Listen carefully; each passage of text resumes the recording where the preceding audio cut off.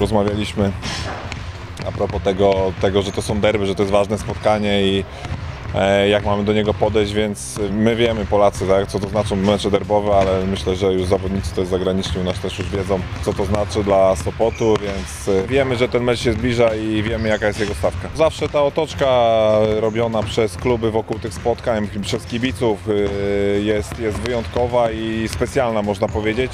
Specjalnie każdy się na to spotkanie szykuje, nie tylko my zawodnicy, ale cała organizacja, kibice. Na pewno to jest jakieś tam wyjątkowe spotkanie.